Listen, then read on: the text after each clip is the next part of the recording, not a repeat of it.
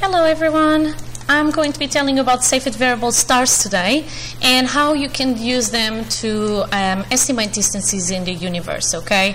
Um, in the last slide I will give you a summary of all the distances that we've mentioned already. So that's the last one on estimating distances and um, then you can go on the other videos to see the other ways of measuring distances in the universe in case you missed those videos, okay?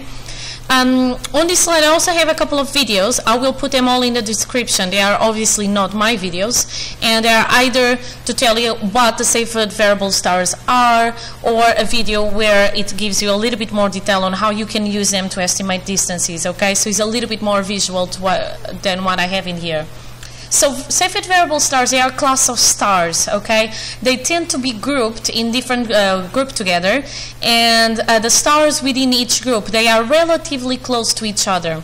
So we can do the approximation to assume that um, they are uh, at the same distance from each other, okay?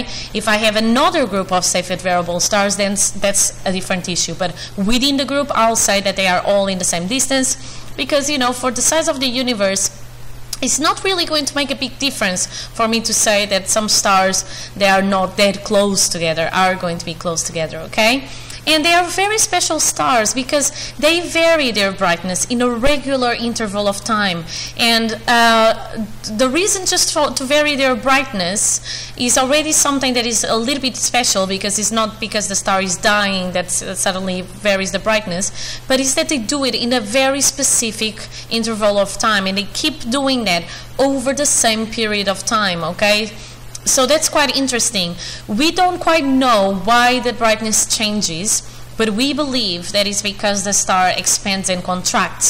So if you look at the graph here, this graph in there, so you can see the graph, uh, the graph, the star being smaller and bigger, right?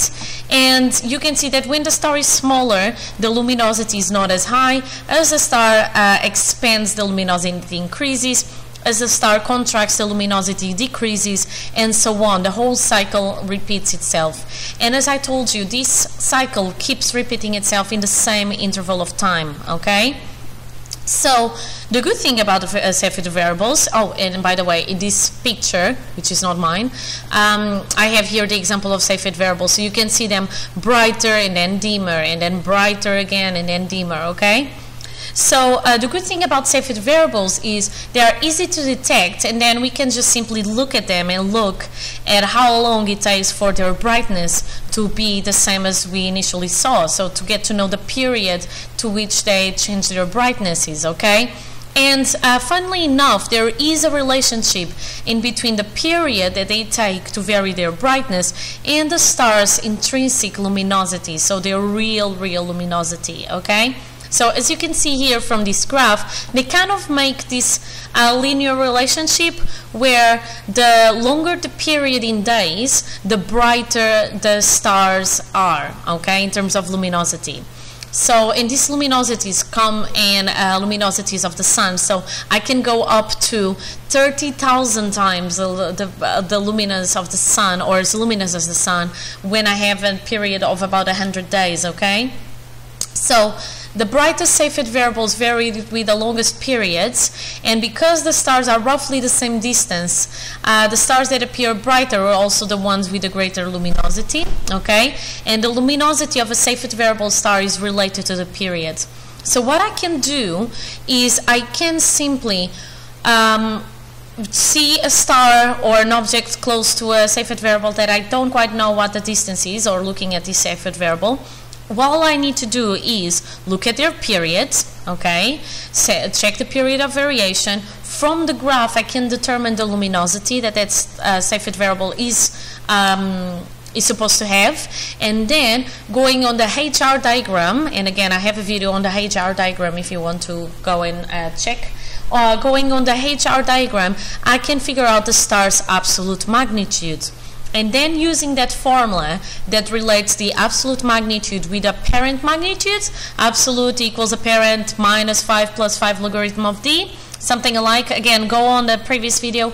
I can figure out what is the distance in parsecs of those stars, okay? So phase that are actually really good to measure distances, okay? Um, so in summary, to estimate distances within the universe, and remember they all have a certain uncertainty, you can use for small distances radar, for nearby stars you can use parallax, for larger distances I cannot use my parallax angles anymore because the stars don't seem to move um, according to the background. I cannot use radar anymore because you know I cannot send a pulse of radio waves up to the object. So I need to use standard candles. I need to use apparent brightnesses. So examples of standard candles are Cepheid variables, where I know or I can know what is the absolute magnitude. I only need to compare it with the apparent one. I can use type 1a supernova, which I believe it was my last video on astrophysics, so give it a go and check it, which is, uh, again, they always have the same absolute magnitude because they are always created once the star that is accreting mass gets to 1.44 uh, solar masses, so the uh, Chandrasekhar limit. Or I can use the star luminosities. By looking at the spectrum, I can get to know the type of star. By getting to know the type of star, I can get to know the absolute magnitude. I can compare with the apparent magnitude. So all of these are ways that I can estimate distances. And again, this is the part in astrophysics where we have the most uncertainty because we can only estimate them. We do not know the real distances. And if you remember from my last video, the universe is expanding. So even when we are estimating these distances, we may get them a little bit off because the universe is expanding and whatever we believe the factor of expansion was before, we now know the universe is expanding at a faster rate, okay? Anyway, I hope this helped. Uh, that's all for Cepheid variables, and that's really all for how you estimate distances. So I have a video on radar, I have a video on parallax, I have a video on type 1a supernova, I have a new video about stars, spectra, and a HR diagram. So you will be able to see how you measure all these distances with all these methods, I mean. Um, so I hope it helps, and see you in the next video. Bye!